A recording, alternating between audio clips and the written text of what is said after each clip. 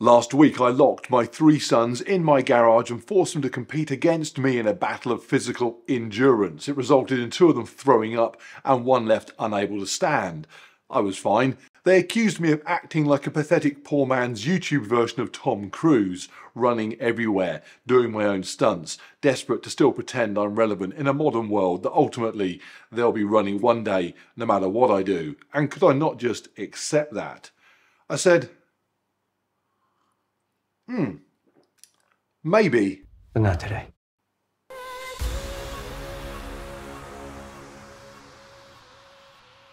Christmas 2020, and I invented and then set the world record for the sport of a man and his dog climbing Alpe du Zwift, a very steep climb within the computerized land of Zwift, where cyclists sweat profusely in their sheds and spare bedrooms, while cartoon versions of themselves ride around in a virtual world.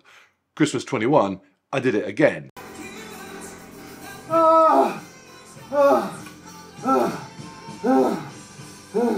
And then in the summer of 2022, this happened. Mark, Nixon, we're coming for you. That is Mitch the American and his dog Vivian.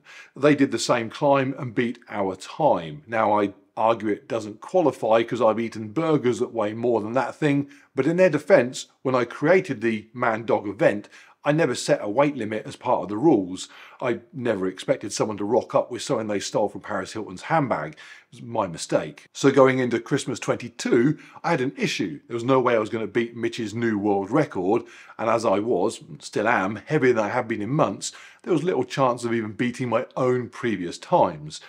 So what could I beat? That's right, what says Christmas better than crushing a small gathering of little Gen Zs? And what the hell, my wife wasn't busy either, so I threw in a millennial too. And so I'm off. And here was the plan. Christmas Eve, I had logged into my Zwift account and I had altered my weight to 117 kilos, or 258 pounds to our American friends, or 109 Vivians. That's 105 kilos for me and 12 kilos for Nixon. Zwift then takes that data, along with my height that it already knows, and uses a very complex mathematical algorithm to calculate that I am big and fat and heavy, and that is quite relevant here because when I start pedaling, the bike will send my wattage output to Zwift and it is then able to take my size, the steepness of the virtual hill that I'm going up, and the power that I am generating to have my little cycling avatar progress forward at a speed that it thinks I would be doing in real life. A speed so slow that I was occasionally being overtaken by people jogging. I assume you can somehow hook a treadmill up to Zwift as well, and that isn't people that have tried out the London map and just got their bike stolen. By the way, the kids at this point waiting their turn, carb loading on Coco Pops. Now, if you follow the channel, you'll know that I normally ride this route with a note of my corner times from previous rides. That way I can break the zigzagging course into 21 separate corners and then aim to get to each one based on what I've done before. I didn't bother here because I knew my weight and the fact that I haven't really done much cycling on Zwift in 2022 meant that the challenge was just going to be getting to the top. And getting to the first of those 21 corners showed there was definitely no point worrying about the clock at all. I normally hit this corner in under four minutes. Here, I did it in almost five and a half. Immediately, I set myself a goal of under 90 minutes as being good enough, and I aim to keep my average power around 240 watts which for me is pretty low. When I rode up here sub 60 minutes, I was around 100 kilos and averaged 320 watts, giving me 3.2 watts per kilo, which is the exact amount of power needed to go under the hour. And there's not much more to say about my climb. It's a man in his garage with his dog on his bike sweating. It is what it is. We hit the halfway point in around 42, 43 minutes, so I knew the sub 90 minutes was going to be okay for the finish. But that was good and bad at the same time because while that was my target, it's still pretty slow for me. And the idea of getting to 60 minutes in and still having about half an hour to ride was pretty grim. But anyway, we push on and slog our way up the hill. It's probably also worth mentioning here that every time I post a video like this, somebody will question whether Nixon is happy. So for anybody about to jump into the comments and ask that, please look at this.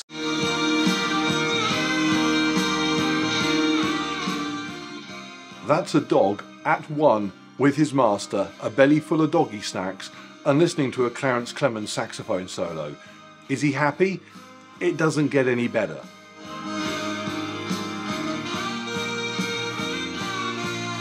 So we make it to the top in 1 hour 26 27 seconds. And so immediately my mind turned to two things. Firstly, the realization that I am way too heavy and unfit. I will never ride again in such terrible shape. And two, it's now quite likely that my children will beat me and regard themselves as having achieved some sort of elevated position within the hierarchy of the house. That is not ideal either. So I'll explain how four different people can all ride the same bike up the same hill at the same time in a minute. First, let's just watch the start because as it turns out, it is the only time that I'm actually in the lead.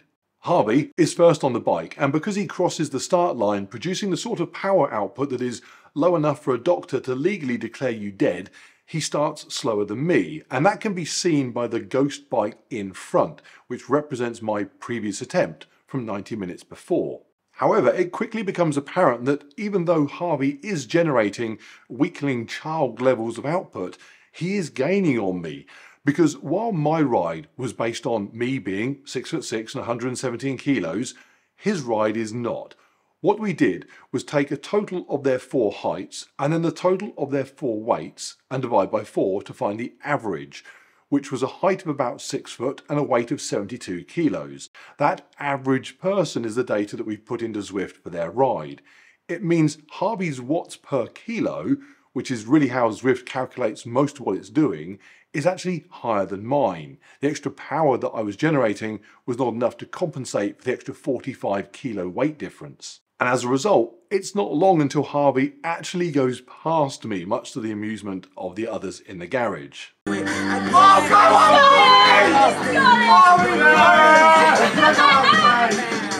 So not going great at this point. I've now just been overtaken by somebody that looks like they're on their way to featuring a viral TikTok, kicking iPads off the display counter of an Apple store, and then it gets worse because the rules of this challenge are that each of them must pedal for at least one minute, never longer than six minutes, and must take it in turns going in age order. So when Harvey jumps off, Joshua jumps on. Hit 500, yeah, go hit six. And this is the reason why they're all quite excited. Joshua is huge. While Harvey is in real life about the same height and weight as their 72 kilo average rider, Joshua is closer to my size. So him doing 400 watts at a weight 20 kilos below his real weight produces a watts per kilo he could never do in real life. And they expect him to crush it every time he's on the bike. I should add at this point, if you recognise Joshua, yes, it was him who featured in the Christmas food video where I ate vegan and he stuffed meat into his mouth. That's what she said. And unlike his brothers, Joshua also the only one happy to show his face on camera. Harvey had told me that he'd be bullied at school. I did simply suggest that he punched a bully in the face, to which he explained that physical violence was no longer how bullying took place nowadays. It was all via technology and I simply wouldn't understand. I disputed that and said that I had actually had a fax machine thrown at my head in 1987, but apparently that doesn't count. Back to Joshua. And it was pleasant to see that working against him is the fact that he has zero endurance. He got off the bike and had to sit on the floor after his go. Would that be would that be one round so far, Joshua? One round and he's he's dead. Uh, Joshua is their secret weapon. George took over from Joshua and like Harvey is fairly close to the average size rider so nothing particularly exciting and noteworthy about his performance other than he for some reason came dressed as Billy Hoyle. And last of all to take a turn is Jen who after a year of training is actually the fittest of all of them but at only 55 kilos is riding with a huge weight disadvantage. So as soon as the gradient gets steep she's in real trouble. Despite all that, as Harvey gets back on for his second go, as they go past corner 17, they count down from 21, and at that same time, I was not even at corner 18 yet. So I spend the next 20 minutes or so quite worried that they are going to destroy me. I also have to endure the most horrific clash of music tastes I have ever heard.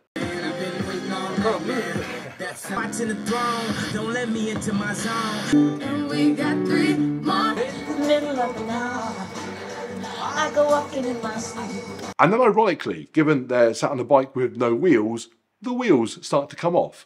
As Jenna is approaching the halfway corner, 10, in a pretty respectable and much faster than me 30 minutes, cracks begin to appear.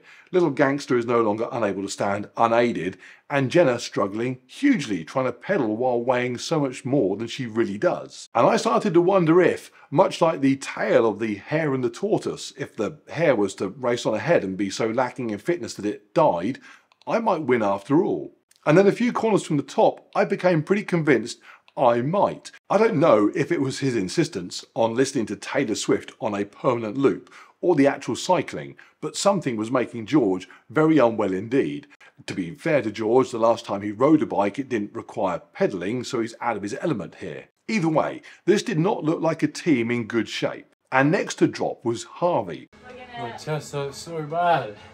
And this was quite crucial because as they approached the final corner, heading up for the run to the finish line, George is dying. He can't even get 150 watts out. There's no way he has another 30 seconds left in him at all. He's done. So next up will be Jenna. But because of the disadvantage in weight, it's going to be impossible for her to get from there to the top inside the six minutes, which is the longest time any single rider is allowed to ride. She'll have to get off before the top. Unfortunately for them, what they want to do is then stick Joshua on, who could actually get them to the top. But Harvey is next in line to ride, and cycling out of order means they lose. Harvey, how are you feeling? You okay? How do you think I feel, man? We, we ask these dumb questions. Okay. Ah. And Harvey is too sick to ride, vomiting every two minutes. Bro. And so they hatch a plan, which is simply to put Harvey on the bike and hope he can survive for the minimum one minute that he needs to do before Joshua can take over and finish. And with that, Jenny gives it one last blast before Harvey is due to jump on. I don't know if Harvey is trying to avoid the bright lights of the garage or retain any vomit inside his hoodie, but somehow he manages a minute, allowing his big lump of a brother to then jump on and finish things off. 10 minutes, 10 seconds. Push it, push it, push it. It's right there. Push it. Push it. Get him! Get him! One hour, eight minutes, 12 seconds. So, in a way, they kind of won, despite me and Nixon pointing out to them that they had only raced a quarter each of what I had done and at a vastly reduced weight. They still felt some level of satisfaction from their performance, a sort of sense of pride in their achievement, and that's how it might have remained if it weren't for the scene that I witnessed on Christmas morning the next day, when each of them staggered very gently downstairs in a style that suggests that there were parts of their bodies not used to being sat upon something rigid while thrashing about, even for a short duration. Jen was fine, she's much more used to doing that. She's used the bike before. So, did they win? Yes, but did they have to open their presents from Santa while stood unable to sit? Yes to that too. So, should we call that a tie? I think so. In fact, I asked them all if they wanted a rematch on that basis, to which they replied, Maybe so, sir. But not today. That's not true. They said no, not a hope. Give the video a like and click over here to subscribe and then jump over here to come join us on the Patreon page and I will see you guys on the next one.